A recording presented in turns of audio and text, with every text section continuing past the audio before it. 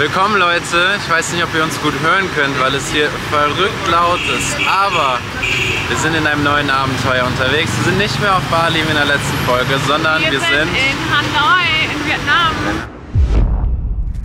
Wir werden hier unsere Freunde Clara und Jonathan von Boarding Away begleiten, die eine ausgiebige Vietnam-Tour gemacht haben. Die haben in Ho Chi Minh gestartet, sind jetzt hochgefahren nach Hanoi, wo wir die jetzt treffen und dann nehmen wir mit denen nochmal den Norden mit. Wir sind super aufgeregt, jetzt hier in Vietnam zu sein und dieses Abenteuer zu starten. A few moments later. Backpacker-Realität ist halt auch, wenn einfach die Bank ja die Zahlung oder das Geld abgeben ablehnt. Kurzer Nervenzusammenbruch.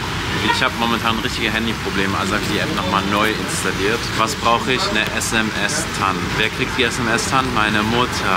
Und es ist 3 Uhr nachts in Deutschland. Versuchen jetzt mal bei einer anderen Bank. Mal schauen, ob wir Geld bekommen. Sie haben Geld. Und ich habe mich gerade richtig abgelegt. Und wir haben uns super, super cool mit so zwei süßen Briten unterhalten. Schon älter, in Rente. Da hatte ich keine Lust mehr. Deswegen bin ich dann die ganze Treppe runtergerutscht. Lara hat äh, einen guten Abgang gemacht, aber zum Glück ist nichts passiert. Ja, jetzt gehen wir weiter. Wir brauchen noch eine SIM-Karte und wir wollen natürlich heute noch ein Motorrad kaufen. Aber so unser erster Eindruck von, äh, von Hanoi ist schon sehr positiv. Also es ist irgendwie so eine Mischung aus Hongkong und ich weiß gar nicht, was noch so richtig, ob wir das schon mal gesehen haben. Es ist ganz neu. Also, Aber es ist halt einfach so, Kaffee in richtigen Cafés kostet 1,60. Ne? Also man kann sich richtig gut zum Beispiel in Cafés setzen, es ist sehr günstig. Es gibt super viele Fake-Stores und sehr super viele. Wir werden uns auf jeden Fall irgendwie ein paar Patagonia und so Sachen holen. Und sehr viele Touristen gibt es ja auch. So sieht das Ganze aus. Da ist eine sehr fotogene Brücke. Ich denke, wenn hier so ein etwas Nebel liegt, boah, ist das ein richtig cooles Fotomotiv. Lara ist schon Fotograf für die. Sind wir jetzt gerade bei Jetel, das ist ein Internetanbieter und wir waren natürlich schon am Flughafen und haben uns da das schnell angeschaut, aber weil es zu spät war und alles war so richtig wurstelig da am Flughafen, haben wir gesagt, wir fahren jetzt erstmal ins Hotel und wollen uns dann vor Ort eine SIM-Karte holen. Das ist aber meistens vor Ort günstiger als im Flughafen. Nur hier ist es halt einfach genau andersrum. Also wir hatten am Flughafen jetzt für Unlimited ca. 15 Euro bezahlt für den ganzen Monat. Und jetzt wollen wir hier knapp 30 Euro für 8 GB am Tag. Wir sind einfach einladen weitergegangen in hier so ein mal. Das ist, ich weiß nicht mal, wie man den nennen kann, aber da stehen ganz viele Namen. Vielleicht findet ihr den auch. Jedenfalls haben wir 250.000 bezahlt. Die hat die SIM-Karte reingesteckt. Ich habe ihr Geld gegeben und das war fe- fertig. Also es, das war der schnellste SIM-Kartenprozess, den ich jemals in meinem Leben hatte. Was wir wirklich beeindruckend hier in Vietnam finden, also an Hanoi zumindest, ist, hier sind super viele Leute, die älter sind, die einfach in Rente sind. Und dann wir treffen die und die kommen aus Frankreich, aus UK, aus Deutschland und die reisen dann einfach durch Thailand, durch Malaysia, durch Vietnam und, und teilweise einfach so Leute, die sind über 70. Also so Wir sind krass. alle sehr nett, weil wir sind alle irgendwie, alle ein bisschen lost. So. Und Ja. die helfen sehr gerne. Und die sagen, zum Beispiel das Pärchen gerade kam aus, aus Thailand und die sagten so, in Thailand ist es viel einfacher als hier. Ja, und jetzt machen wir uns auf jeden Fall auf die Suche nach einem Motorbike. Und vielleicht können wir mal ein bisschen eincatchen, wie Vietnam sich so oder wie Hanoi sich so anfühlt irgendwie. Wer uns schon ein bisschen länger kennt, weiß, dass wir für meine Mama immer Magneten mitbringen. Aus jedem Land, wo wir hingehen. Die hat so eine ganze Magnetensammlung und Postkartensammlung. Frag mich, was der kostet. How much is this one? 50.000? 2 Euro. Ich finde die halt cool, weil ich finde, dass die so traditionell sind und ich finde, solche haben wir noch in keinem Land bislang gesehen. Deswegen, how much are these? 20.000. Oh, die sind Der günstiger. Preis spricht für sich. Karte. Da ist dann mal eine tolle Großkarte, die man verschicken kann.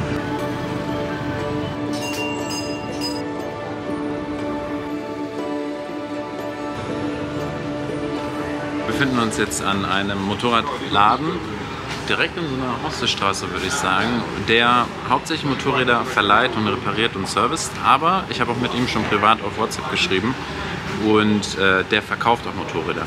Natürlich dieses Motorrad hier wäre mein Traummotorrad. Ich wäre hätte das so gerne, aber es kostet um die 1200 Euro und so eine Wave kostet, weiß ich nicht, 300, 400 Euro. Wir schauen uns auf jeden Fall jetzt ein paar Motorräder an in dem ähm, Lagerhaus von ihm. Die Helme sind besonders witzig hier in Vietnam, die sind wie so Cappies. Ich zeig dir euch mal Lara, die sieht auch sehr witzig aus. Schaut euch dieses Cappy an. Sieht so aus wie, wie heißen die, Jockey, diese, diese Pferdereiter? Oh mein Gott, wie sehe ich denn aus? Marco fährt jetzt das erste Mal seit einigen Jahren wieder stand. Semi-Automatik Motorrad und wir schauen mal, wie es hier ist. Okay, see you later. Okay.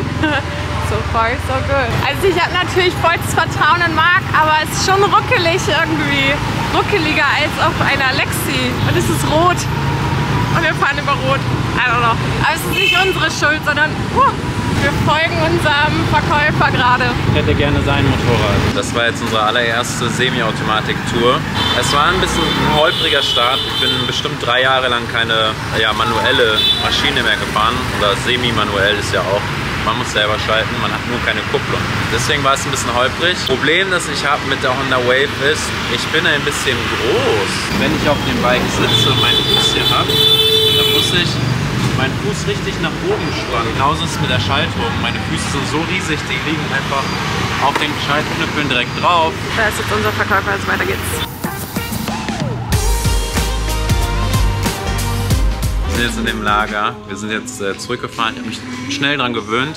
Ich habe jetzt eine Position gefunden, wie ich meine Füße drauf halte. Ich fühle mich wie, als ob ich mit dem Besen nach Hogwarts fliege. Die haben auf jeden Fall im Hintergrund eine Werkstatt, wo die die Bikes selber reparieren. Und wir haben in den Reviews auf jeden Fall gelesen, dass die sehr gut sind hier. Also ja, sollte das alles funktionieren, schreiben wir euch mal unten rein, welcher Verkäufer das hier gerade ist. Wir testen alle Funktionalitäten des Rollers, vor allem das Licht, weil ihr möchtet nicht im Dunkeln fahren und kein Licht haben. Das ist ein Todesurteil. Wir haben uns entschieden, ein Motorrad zu nehmen. Unsere Kamera ist ausgegangen. Mitten in dem ich euch erklären wollte, was für ein Motorrad wir jetzt haben. Wir sitzen gerade in einem Café, wo wir ein bisschen indisch essen. Sehr lecker. Das Restaurant ist direkt bei uns um die Ecke und wir haben uns einfach gedacht, so irgendwas Schnelles zum Essen, weil bei mir Wir sind aber auch schon hangry. Also, Ja. Kennt ihr das, wenn man anfängt so sauer und unnötig wütend zu werden, weil man Hunger hat? Es war halt auch so ein richtig langer Tag, weil wir einfach SIM-Karte geholt haben, Geld geholt haben, hat erst alles nicht so richtig funktioniert. Dann einen Roller gekauft, dann habe ich mich noch so richtig abgelegt. Und ähm, war auf jeden Fall ein ereignisreicher Tag und wir haben auch nicht so gut geschlafen. Aber jetzt sind wir hier und das Essen ist sehr gut und ich habe gerade meinen allerersten Coconut Coffee ever bestellt und er schmeckt richtig gut. Also ich hatte, ich hatte schon ein bisschen Angst, aber ich mag ihn richtig gerne. Und ich hatte das auch irgendwo schon mal probiert, bin mir sicher. Ich weiß nur nicht, wo oder wonach das schmeckt. Aber Marc probiert es gleich mal. Er kriegt nur einen zweiten Strohhalm gleich, weil Marc halt noch krank ist. Und er probiert es dann und er sagt euch dann, woher wir das kennen, weil Marc ist ein Genie, wenn es um Geschmäcker geht. Ja. Anyways, kommen wir zurück zum Motorrad. Wir Marc ist der äh, glücklichste Mann der Welt gerade. wir haben eine Honda XR 150 genommen. Ja, ich habe mich dann einfach mal aus Spaß, wollte ich einfach mal die andere, das andere Motorrad fahren, weil ich schon lange kein Motorrad mehr gefahren bin. Habe ihn gefragt, ob ich das Test fahren kann. Ich saß eine Minute drauf und Die Entscheidung ist gefallen die eigentlich. Entscheidung ist gefallen. Ich war so, oh mein Gott, ich will dieses Motorrad. Ich würde jetzt nicht empfehlen, so ein Motorrad wie wir jetzt haben, zu nehmen, wenn ihr äh, Keine keinen Fahrerfahrung habt, ja. Motorradführerschein habt und auch keine Fahrerfahrung. Man kann, sehe ich theoretisch, das auch irgendwie faken, sage ich mal, dass man diese Driver's License hat, aber ich weiß nicht, wir haben auch wir- ab. Also, wir haben es Also- gehört. Ja. I just wanted the straw. But we, we take it, it's okay. We take another one. No worries. Seid da auf jeden Fall vorsichtig mit. Also es ist auch auf Bali immer wieder das Problem, dass die Touris kommen, die nehmen sich große Roller, ein kleiner auch total reicht. Und dann passieren halt diese tödlichen Unfälle auf Bali, von denen man liest. Das Genau. ist halt echt gefährlich und hier auf Vietnam, das ist so ein außergewöhnlicher Verkehr, den habe ich noch nie selber erlebt und ich fahre ja schon Zweirad seit acht Jahren oder so. Die fahren echt, zumindest in Hanoi, super wild. Also so gefühlt, als ob es nicht so richtige Regeln gibt. Da gibt es auf Bali auch nicht. Aber doch auf Bali, ja, weiß ich nicht, irgendwie fand ich schon respektvoll. Ne? Wenn du durch willst, dann lassen die dich durch. Und jeder achtet auf jeden. Und ich habe halt hier das Gefühl, keiner achtet auf keinen. Und was ist deine. Das kennen wir, ne? Irgendwoher. Starbucks-Kaffee. Diese abgepackten Ampullen, diese Glasfläschchen. Aber es schmeckt gut, ne? Ja, ist ganz gut. Viel Zucker. Um 5 Uhr holen wir unser Motorrad ab. Das Genau, also wir haben auch. das jetzt noch nicht. Das kommt noch, weil die machen jetzt gerade noch das Rack drauf und da kommen dann hinterher auf unsere, unsere Backpacks drauf. Und das können wir dann später abholen im Shop. Und bis dahin haben wir jetzt so ein Ersatzmotorrad bekommen quasi.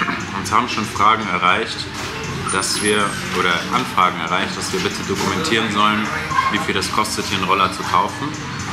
Wir wissen, dass man hier einen Roller kaufen kann für so um die 8 Millionen, inklusive schon dieses, dieser Montur für deinen Rucksack. Also circa 300 Euro. Oder Also, ihr könnt euch ja. das mieten, dann kostet das um die 7 Dollar am Tag. Also auch irgendwie 6 Euro oder so. Wir zahlen jetzt für unser Motorrad 17 Dollar am Tag zum Mieten.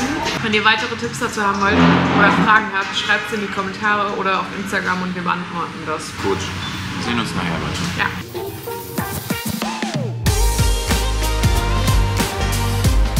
Gut, wir haben unser Motorrad und jetzt muss ich wieder durch das Chaos zurückfahren. Die Lara ist leider nicht dabei, sie ist gerade im Hotelzimmer ähm, und ich hole das Bike alleine ab, habe es auch bezahlt. Wir haben ein Deposit von 500 USD hinterlassen, das heißt wir haben das Ganze, haben wir vorhin gesagt, mit Paypal überwiesen. Aber die sind super nett, die Leute hier. Äh, wir vertrauen einfach mal mit so einem lauen Magenschmerzen. Ähm, das Bike fällt auf jeden Fall auf, also die ganzen lokalen Leute benutzen hier diese Honda Wave und so. Ähm, aber ich weiß nicht, es fühlt sich immer richtig an, dieses Bike zu nehmen. Ich habe Urlaub und möchte einfach das genießen und deswegen ähm, ist mein Traumbike. Ich glaube, ich kaufe mir so eins sogar in Deutschland später irgendwie. Aber ja, wir fahren jetzt erstmal zurück nach Hause und werden morgen die Tour schon starten. Also freut dich auf jeden Fall auf das nächste Video, das kommt. Da werden wir mit Clara und Jonathan wieder reunited sein. Wir sind die Django-Freunde. Immer noch ein bisschen Husten, ich weiß nicht, woher der kommt. Ähm, seit einem Monat hatte ich den schon. Total ärgerlich und jetzt ist er wieder schlimmer geworden. Aber wir fahren jetzt mal durch Hanoi wieder zurück und sehen euch dann in der nächsten Episode. Bye bye.